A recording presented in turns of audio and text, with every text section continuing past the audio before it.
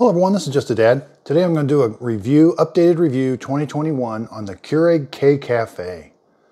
This is a latte and cappuccino maker. Model number K84. It retails for $200. This is the special edition nickel color. They also sell one identical to this, but it's black. It's, it sometimes can be cheaper, but sometimes they put this one on sale. So this is where my Keurig uh, journey started. This was my first Keurig. I absolutely loved it.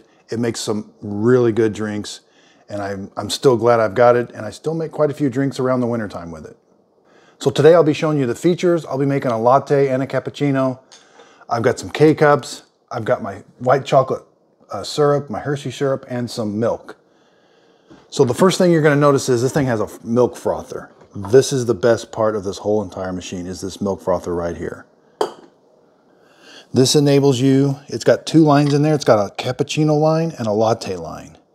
But it, has got this frother that, so this little black thing here is like a swirler. And it sits on there, on this little thing right there. And then the machine uses some kind of magnetic force to, to swirl that when it's installed in the machine. But cleanup is so simple with this. There's no electrical components on the milk for on this side so you can wash this because if we all know with milk frothers um, the milk kind of stains and you got to wash it and some of the ones that have electrical connections you can't wash them very well. That's the best part. It's got a lid. The milk frother has its own controls. We can do a cold latte or a cold cappuccino or just if we press the button it's just a hot latte and hot cappuccino and it will heat the milk as it froths it and there's where it sits on So over here, we've got, we've got kind of a standard Keurig machine. It's got the single needle at the top that's going to pierce the K-cup and a needle down there that's going to pierce the bottom needle. But here's where it stands out. We've got a, a coffee button and a latte button. So consider this if you want to do just, so this can be a regular coffee maker. If you don't want to do a latte and a cappuccino, just simply hit the coffee button and now it lights up the 6, 8, 10, and 12. I can brew a coffee K-cup on any one of these settings. And it's, it acts just like a normal Keurig. You just press the center button and it brews it. I even have a strong brew. I can do a strong coffee on the coffee side. Now let's turn it off and turn it back on. This is where the machine is different. We've got this latte button and we've got this shot button. So if I come up here and hit the latte button, it automatically lights the strong light and the shot light. And the K button's ready to brew. Now what's going to happen is when I put my coffee K-cup in here, it's going to brew two ounces through that coffee K-cup to give me like an espresso shot. Now, it's not going to be a true espresso shot. It's going to be a really strong concentrated coffee. But it does taste good when you do froth milk into it for a cappuccino and a latte. I can also just come up here so when it, I got I can come up here and just hit the shot button.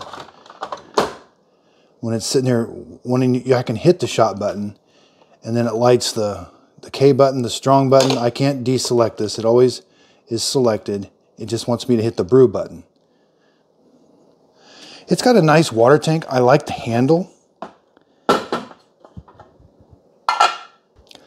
So it does not come with a water filter. It takes a tall handle Keurig water filter if you want to put a water filter on there and it'll just go on there and it snaps onto that black ring down the bottom. And then down here we got this metal drip tray. The overall appearance of this machine, it, it can be a little big, but it looks really nice. So left to right, it's almost 14 and a half inches. Front to back is about 10 and a half. And with the handle up, it's almost 17 inches, but it fits under a kitchen cabinet just fine. So the first part of this video, I'm gonna do a, um, a latte, then a cappuccino, then I'll do a coffee. Now you can do it either or. You can froth the milk first, pour it into your cup, and then brew your, your uh, espresso shot into it, or you can brew the espresso shot, pour it into your, your milk. All right, so I'm gonna do a cappuccino. Again, there's a cappuccino line. That's four ounces of milk. And the latte line is six ounces. And this will froth all kinds of milk. It does struggle with some of the more fancier milks, but it does do almond milk, soy milk, skim milk. I'm using 2% milk. It'll do whole milk. So just fill it up to that line right there. close this. There's really no way, to, this can kind of rotate, but just make sure this is installed. And you're simply gonna come up here and hit the cappuccino line. Now it does beep at you. And it automatically starts frothing. Now since I didn't hit the cold button first, that's gonna warm up, so be careful, that will be hot, but it is gonna heat that milk as it froths it. This takes about a minute and a half to froth that milk, which is pretty quick. Okay, so it does kind of beep at you when it's done. We're gonna take it out. There's your froth. And just, I like to dump it in there right away.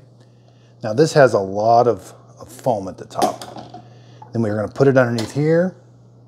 Now I'm gonna get my coffee K-Cup. Again, you can just, you just use a coffee K-Cup.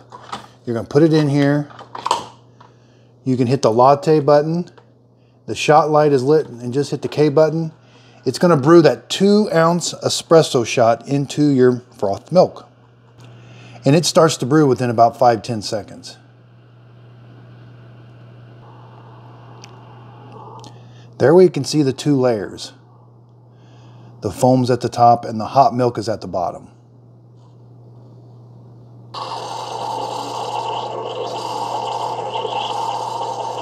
Again, that's only two ounces of really concentrated coffee, but it does mimic the taste of a, of a kind of an espresso shot. So you can drink it just like that. We can see our, our two layers. The drink does cool off pretty quick. We can put our thermometer in. And down at the bottom, we're about 130, 120 down at the bottom. As you go up, it gets a little hotter. That's the different layers about 150. So at this point, you can add your syrups of any kind. You can even add your liquid syrups. These come in sugar-free, all different flavors. It doesn't take a whole lot. So I'm gonna add one tablespoon of white chocolate and then one tablespoon of Hershey syrup. And then I like to mix mine in. It does, again, these cool off really quick. I've got several videos on all kinds of different drinks. You can make a pumpkin spice latte. So I like to add just a little bit of whipped cream. And then drizzle just a little bit of, of syrup on top. Just to give it kind of a look. So there you've got kind of a white chocolate mocha that tastes really good. And you can just play around with the different syrups. Get it till you like the taste of it. These, these, you can make some really, really good drinks. Now here's the best part. So let's go clean this frother up. We're gonna just rinse it out. So if you're in a hurry, you can just rinse it out and then we're ready to use it again. This is dishwasher safe, but I would take that black thing out. Don't put that in the dishwasher. Okay, so now let's do a latte. Let's fill it up to the latte line. This is six ounces of milk. Okay, so I've got it filled up. Put your lid on. And now just hit the latte button. Or, I'm sorry. Okay, so cancel that. I hit it again. I hit the wrong button. Just hit the latte button. If you want to stop it early, just hit the button. It will stop it. So now I hit the latte button. It starts spinning it. It's going to heat it up. There's, there's two more ounces of milk in there, so it does take a little bit longer. And again, if you wanted cold, just press cold first and then the latte or the cappuccino button. It does not heat it, but it froths it the same. Here's our coffee K-Cup. I just took it out. It pierced the bottom and pierced the top. Okay, so it beeps at you twice.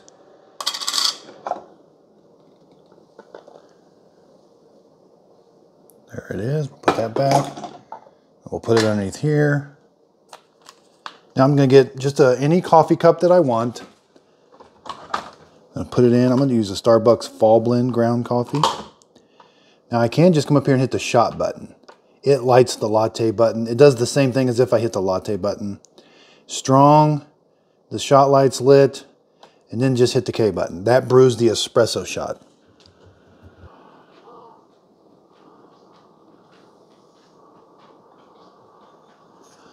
So we can see we got quite a bit more milk with the latte.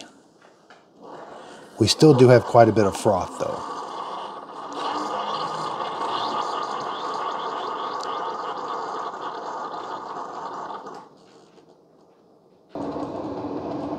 Now the machine is kind of loud. When it, when it finishes brewing, it does have to kind of boil some water on the inside, so it is a little bit loud. But again, there's your separation. So with this, you could take some of that froth off. I like, let's, add, uh, let's do a vanilla latte. I like to do two tablespoons, which is basically two dumps. So one, two. Again, this is sugar-free and it tastes really good.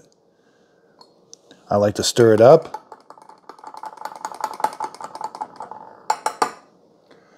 And then you don't have to add whipped cream. You can, you can add some if you want, but it tastes really good just like that. There you have a vanilla latte.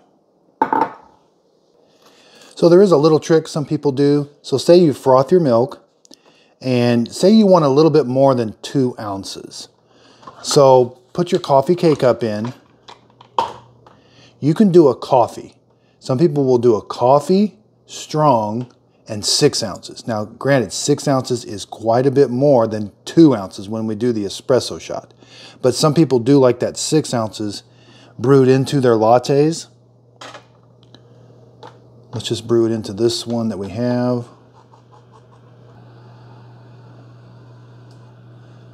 So if you're really wanting more of a coffee taste, but again, six ounces is quite a bit.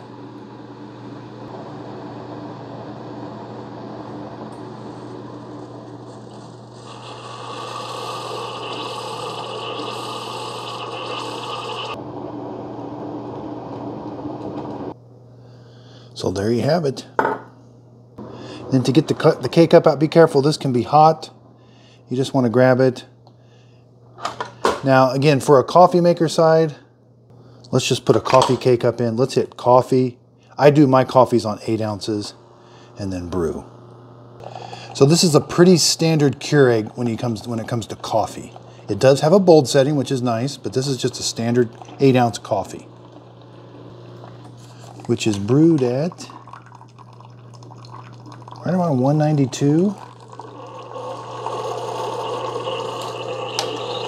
So you end up with a really hot cup of coffee. 173.